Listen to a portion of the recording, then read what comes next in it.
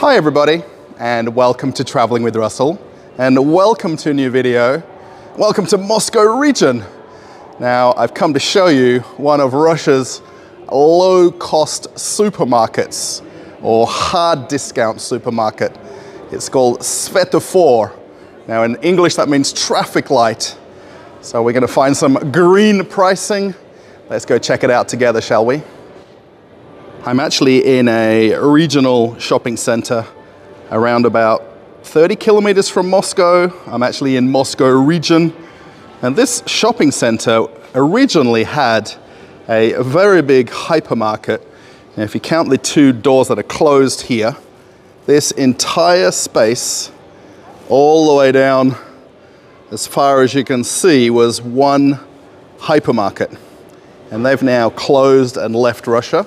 It was actually a Russian branded hypermarket that essentially just wasn't doing great. And they've actually separated what was one store now into three different ones. And the one we want to come and see is right in front of me here. Traffic light. Has anybody heard of this brand before? Let me know. The shop's actually open seven days a week from 10 a.m. to 10 p.m. So that's why perhaps while I'm walking around now, it won't look very busy. This is the middle of the afternoon on a Monday. I've actually come to this shopping center to film a very unique shop, which might be on the video channel already before or after this one.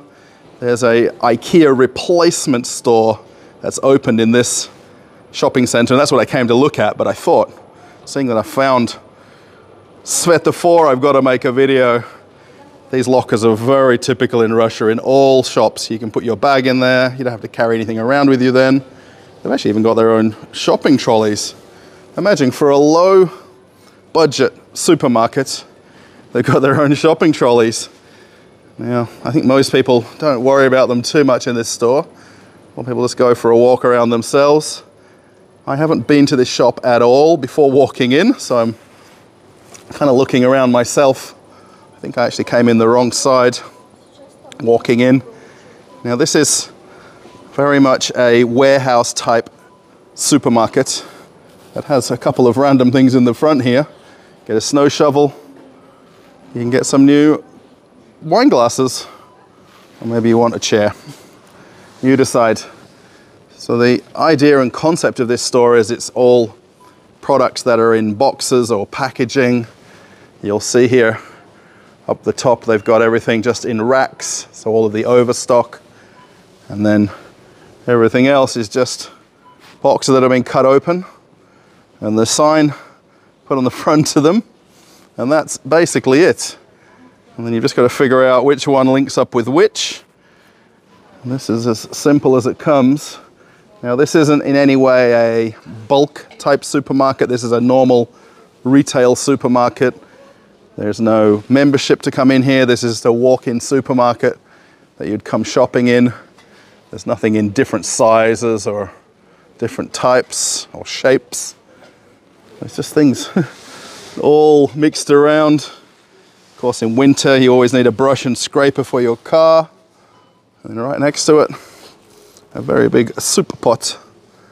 We're gonna walk on past a couple of people here having a look at things and you'll see how much the shop opens up.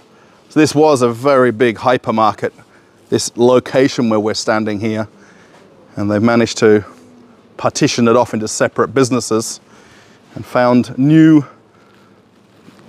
companies to take over this space. Maybe you need a throw rug, only $3. Now I like to use 100 rubles to $1 US as a conversion. It's a little bit less than that right now, but it's only a few cents different from 100. I think it's at 93 today. Maybe the absolute classic Russian toilet paper. This is basically paper. You don't really want to buy this. Even in a budget supermarket, buy something at least with a brand on it and you'll be much happier. I wonder if we can do this in one take as I walk around.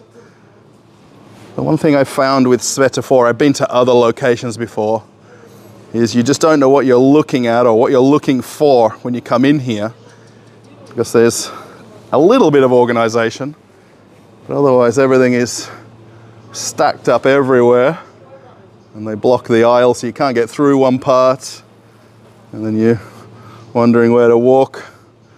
Bit of cat litter right here and right next to me some 50 ruble cookies. Yes, please. Who likes cookies? Let me know in the comments.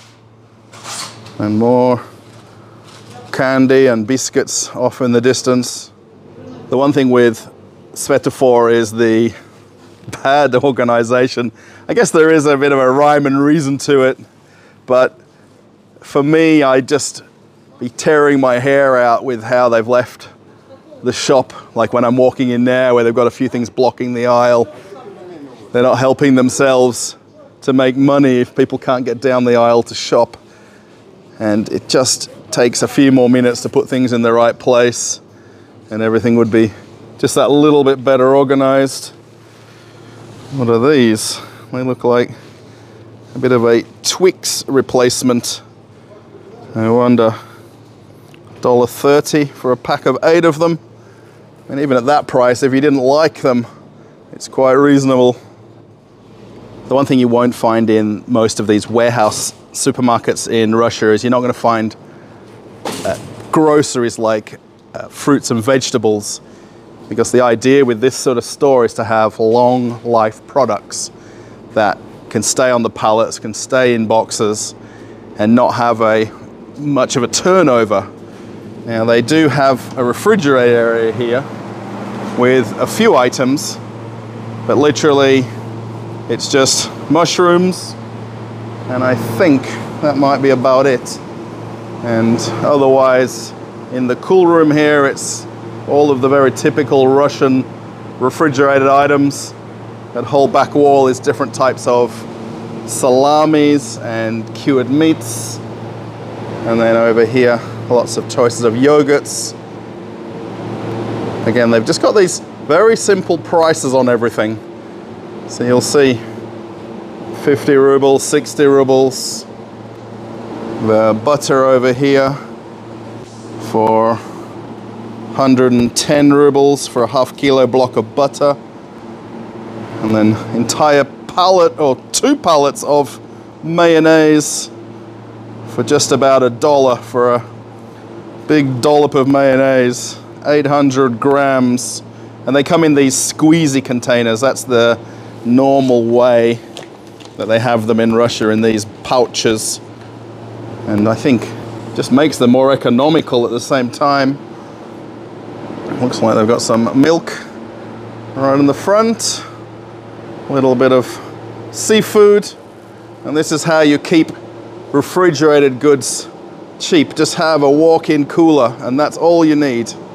And then as they come out of the fridge, you basically just walk right into more pallets of different grocery and food items. Big pallet of pasta. The only thing that bothers me in these types of stores is where they don't have a sign on something. And I think that should be the number one rule of their uh, shop is make sure there's a sign on everything they sell. That should be a given. You can get a glass jar of corn, 90 rubles. And then it becomes a bit narrow through here then. So if you're trying to shop with some kind of a basket, it might be a little bit awkward. Plenty of things. I think the one thing that might be interesting, I guess we're watching this now quite a bit further into the video, is how many things are under 100 rubles, which would be equivalent of one dollar. And you know, how many different types of products you can get at a reduced or low price and what we considered inexpensive. Giant jar of pickles.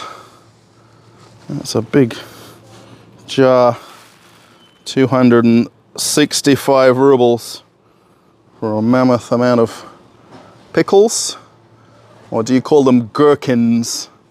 Depending on where everybody is in the world, let me know what you call them.